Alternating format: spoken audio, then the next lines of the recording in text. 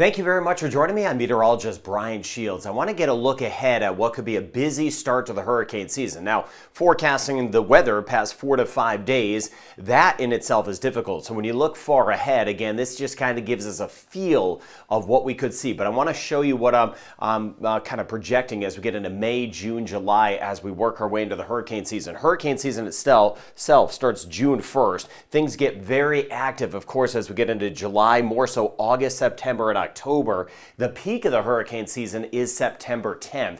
So September usually the most active as far as named storms go. Now, right now it's been well advertised we're in an El Nino pattern. I'm not going to necessarily dive into the science behind that, but in an El Nino pattern, sometimes it's a little quieter in the Atlantic basin. That wasn't the case this past season though, because there's other variables. It's not just El Nino, El Nino and La Nina. But with that said, the next couple months we're going to be locked in this red shading here, February, March, April, to an El Nino, but it's going to quickly transition to a La Nina as we work our way into June, July, August, and then after that. I bring that up because with a La Nina, it is usually more active in the Atlantic basin, but this doesn't tell us where storms are going to go, where hurricanes are going to go. So I'll track it island by island for you as we get into the hurricane season. So with that said, I want to look ahead. This map here is showing May. So this is the month of May, so a couple months out, the month before the start of the hurricane season.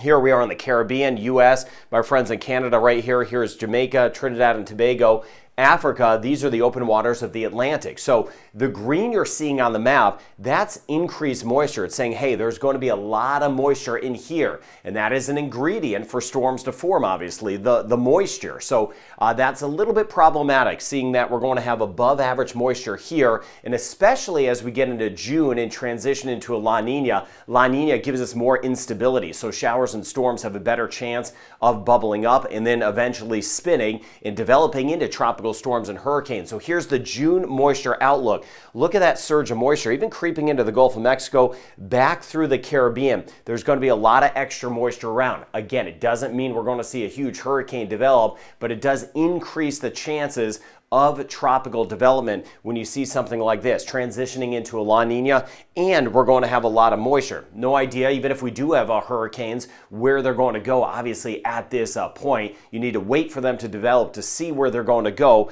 But this does uh, tell me that I do believe we're going to have a busy start to the season because look at this. This extra moisture here really does coincide to where we typically look early in the hurricane season.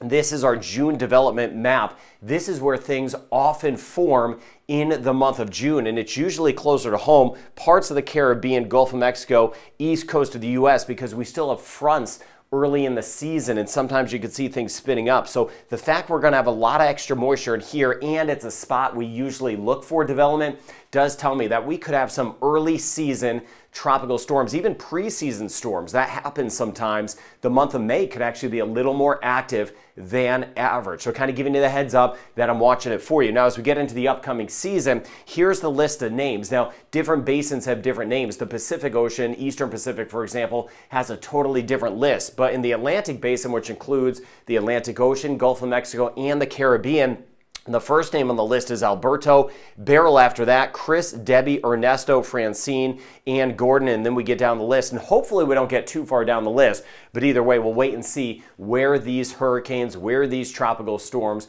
will eventually go. Now, this time of year, we're tracking those fronts. We've got another one moving across the U.S. that will bring changes into the upcoming week. We've also been dealing with some of that dust around, especially in the southeastern Caribbean. Thinking of you if you've had some of those uh, breathing problems could have additional breathing issues the next few days air quality a little bit lower in the uh, southern Caribbean. But there's that next front as we work our way through the weekend. This is later today. Across the Caribbean, I'll dive down in just a second, but I want to show you kind of the broad picture because what happens here impacts what happens down here. And you see by Sunday afternoon, this front taking shape, dipping down into the Gulf of Mexico. Now, this will start to wind up. It'll start to spin more, become stronger. And you see it here as we work our way into Monday. This is the storm gathering southeast U.S. We'll see some rain and storms around tail end of the front dipping all the way down toward the Yucatan Peninsula at least. And then Monday into Tuesday, this one is going to race up toward New England,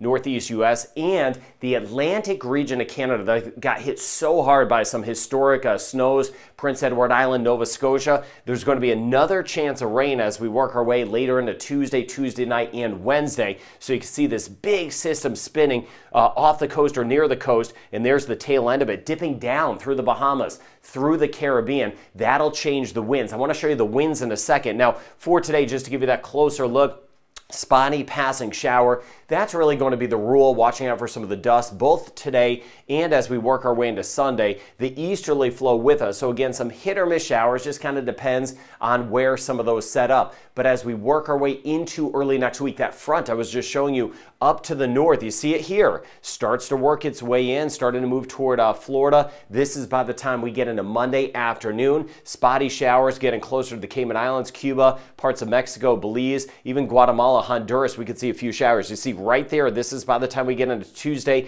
there's that front that starts to move in and it will shift those winds. So let me show you the winds here. Now we have that strong easterly flow, high pressure and control over toward Bermuda. That means some nice weather. I'll show you that in a second with the forecast. Winds around that are clockwise. Have that easterly flow, which is kind of strong at times back through the Caribbean, helping to drive some dust around. As we work our way into our Sunday, easterly flow in the Caribbean, more out of the south in the Gulf. That's because we have our next front approaching, which is sitting here. And look what happens.